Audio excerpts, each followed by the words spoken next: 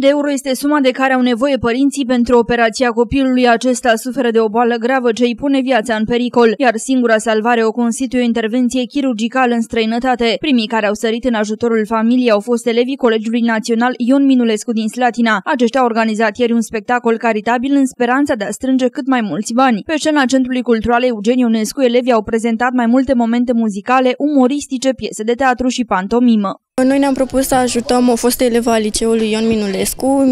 Ea a terminat acum 5 ani și de curând a născut, iar bebelușul are probleme grave cu plămânii și are nevoie de o nouă intervenție chirurgicală.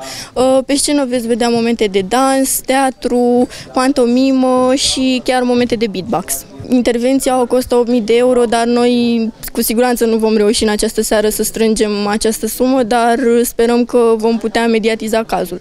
În urma spectacolului caritabil, elevii Colegiului Național Ion Minulescu din Slatina au reușit să strângă 700 de lei. Persoanele care vor să li se alăture părinților cu o sumă de bani o pot face în contul deschis pe numele Mugurel Dumitru.